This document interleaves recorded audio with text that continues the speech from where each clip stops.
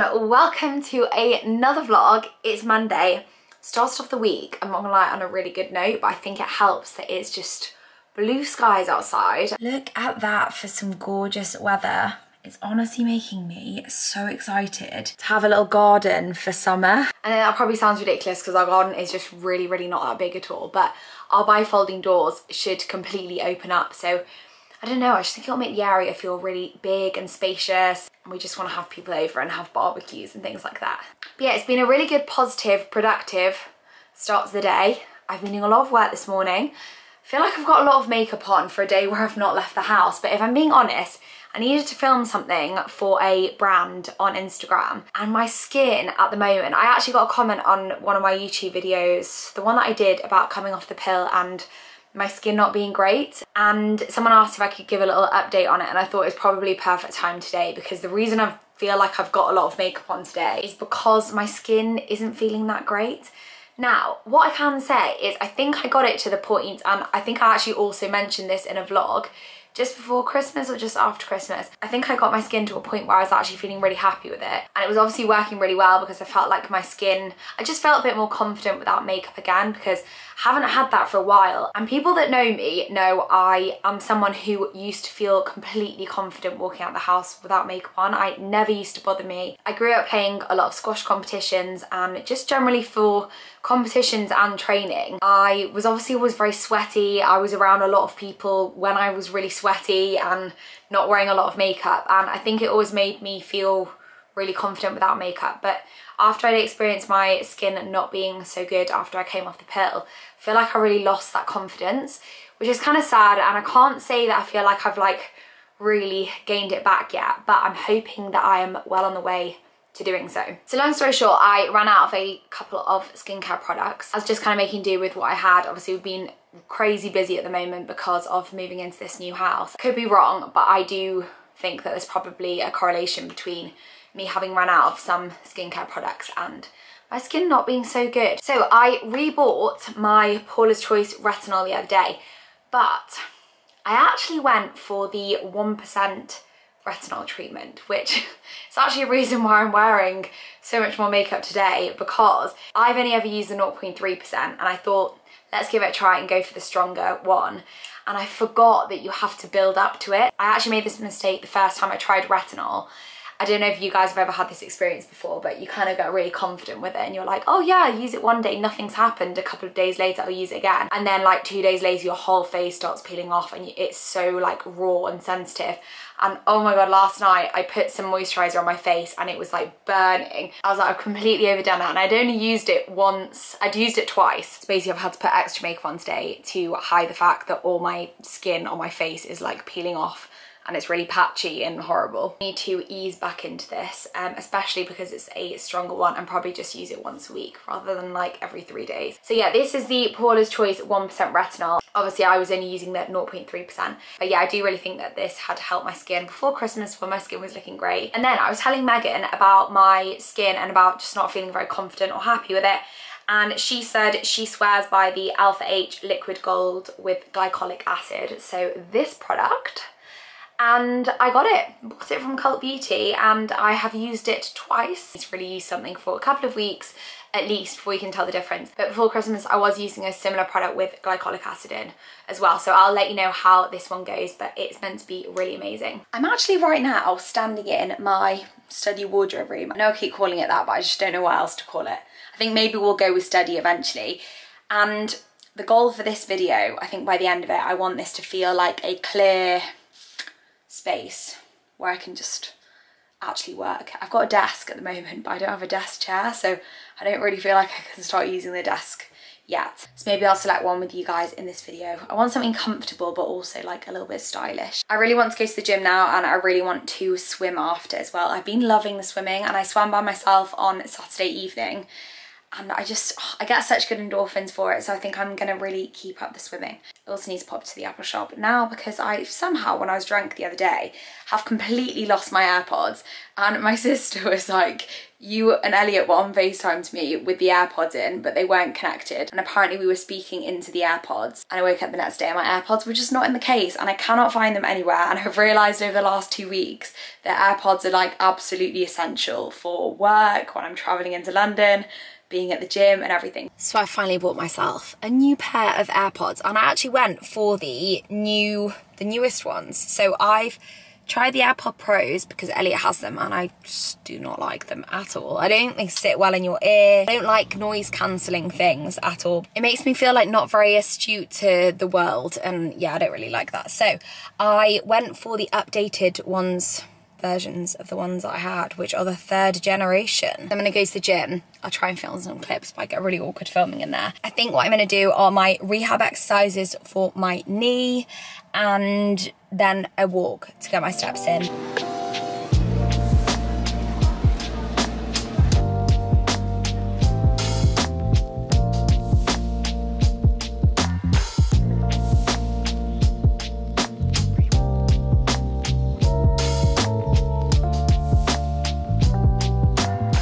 Finished up and that swim felt I wouldn't say it felt really good. I say I felt like I pushed myself really hard. So like it was very, very difficult.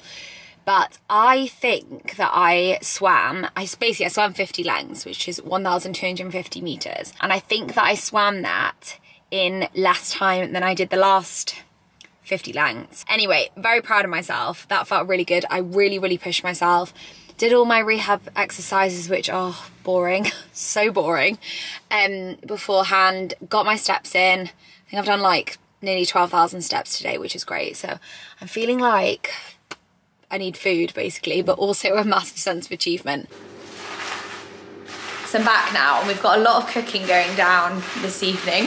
We're making two different recipes. Cornflake chicken cornflake chicken with crunchy nut cornflakes. This yep. was a recipe that came from one of our friends. I am and they're probably fine now. They don't need to be powdery. Right. Yeah. Cool. So he's crushing the cornflakes in one of these compostable bags. And then he's gonna coat his chicken in this flour mixture as well because we don't have any eggs that aren't off apparently. And this is my pasta, which Elliot is now really jealous of. Ha ha ha. Um, yeah, you can give it a try. And it's got the corn, veggie sausages in. It's got like lemon zest, broccoli, silken tofu to make the creamy sauce. Look at that. Right, and this is Elliot's finished meal. This is the most classic you thing ever, just having a plate of chicken with nothing else. Yeah. Li literally just that. That is his dinner. Yep. To be fair, it looks good. You've got a few bits that are a bit bad though. I Is that room for improvement? No. Basically what's happened is I put my hat this when I'm cooking. Um Annie He's been wearing his hat like that the last few days. Annie has um come over and filmed the last pieces Oh, sorry. He said they're the struggly bits. These are the struggly bits that I just put struggly. in. They were like what the the pieces before way better than this. So yeah, perfect. But anyway, good morning, guys. So just popping on here to let you know that it might only be half eleven, but I'm having my leftover pasta from last night. It is so good. I basically don't have time to eat until about three, four o'clock and I've just finished a gym session. So I'm having this, even though it's a completely unacceptable time to be eating lunch.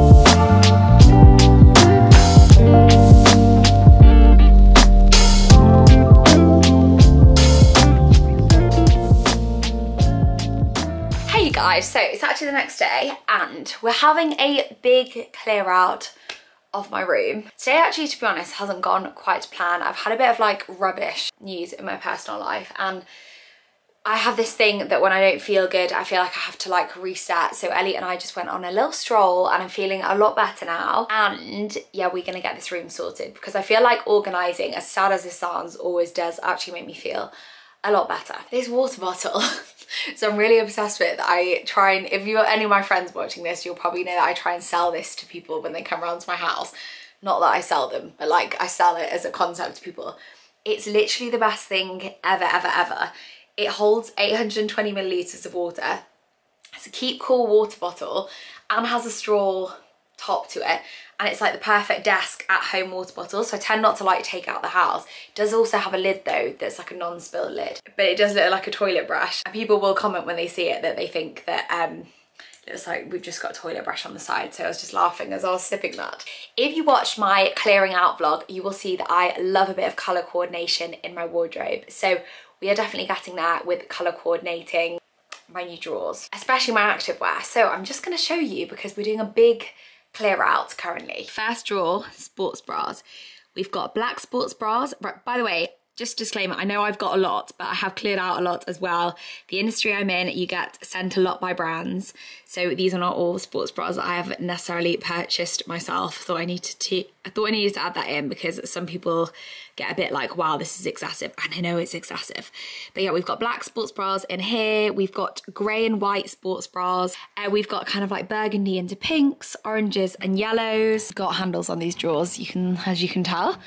Then this next section actually needs a little bit of tidying up, but we've got greens and blues basically. So these are all little vest tops, so these are mainly long sleeve tops. I wear long sleeve tops a lot at the moment. Then we've got tighter fitting shorts and we've got baggier shorts. And then in this one, we have got leggings. We do have some brighter ones kind of sneaking at the back as well. Over here, I am reluctant to show you my desk yet, even though you can see the legs because it looks really beautiful. It's currently crowded by a pile of things that I'm either going to be adding to my Depop or giving to the local charity shop. So either today or tomorrow, I'm going to be uploading a ton of things to my Depop. I've been, I've basically done another ruthless clear out. And I think there's even more that's going to be cleared out at some point. But basically things that even though I've loved them at some point, I just really don't think I'm going to wear them. So for example, these lovely Girlfriend Collective leggings, I just never wear this colour to be honest, as much as it's really beautiful some old Gymshark, who remembers this collection? Some Nimble Active wear pieces that I just don't wear as often.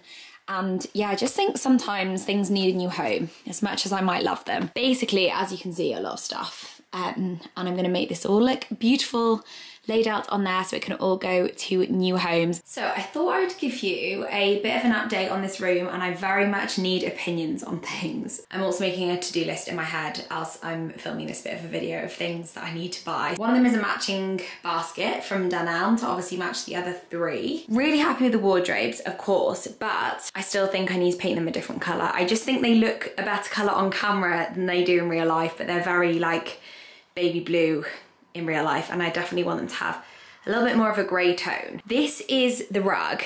I'm in love with it. I think it's beautiful. When this room is clear, I think it's gonna look great. I think it really works because we've got a lot of white in this room, like a huge amount of white. So it's actually quite nice to have a bit more of a texture and an interesting patterned sort of rug on the floor. I, oh, I just adore it. It's really difficult to find these kind of rugs in more neutral or less kind of classic old school shades. This has actually got a chocolate brown in it. I initially thought it was gonna be a black detail. I'm really happy with the brown because I think it just adds a lovely warmth. To be honest, I'm kind of toying with the idea of putting a small piece of furniture underneath the windowsill and I don't know whether I mean more of like a boxy kind of I don't know, either like a bigger woven box or like a console table. Alternatively, the chest that we've got downstairs. The other thing that I could get, which I quite like the idea of because this is a dressing room, is having a big sort of like poof kind of thing. Something I can sort of like lay clothes or lay outfits out onto, but can also act as extra seating if I do end up having a meeting in here or anything like that. So this is the space I'm talking about. Please ignore the fact that everything just looks so messy and out of place at the moment. As lovely as this looks, I just think it could do with being a bit bigger. So either like a bigger version of that that you could maybe sit on to have under here or like a really snuggly poof or it would honestly almost lend itself to a mini sofa. can have a think, but all ideas are welcome. Then coming around to this section of the room, this is my beautiful desk. I am so happy with this. I think it's gorgeous. It's from Swoon. I will try and link it below for you. And it's mango wood. Here's a little closer look, but it's basically a very, very textured wood and I just love it. I think it's like a mid-century style. I think the drawers are great. They're actually quite a practical shape. These are actually the knobs that are meant to go on my drawers. I just haven't got around to fitting them on there, but these were actually pretty cheap. I think they're about eight pounds or something for six from B&Q. It's such a shame that the previous owners, for some bizarre reason, had a TV in this room mounted on the wall. And we've really randomly got a socket in the middle of the wall. So yeah, that is just far from ideal because that is actually the only socket over here. If anyone's got any suggestions for something that can go over the wall. So I was thinking obviously you could put some artwork over it, but I need to be able to access the sockets. So something that would kind of work as a, I don't know, a decorative piece that would cover up the wires and the sockets, please let me know because I'm pretty stuck for ideas. This mirror has served us very well from Ikea, but it's just far too big for the space. The long-term solution will be buy a really lovely decorative mirror that's slightly narrower and mount it on the wall, and I think that will look gorgeous potentially in brass or white or something.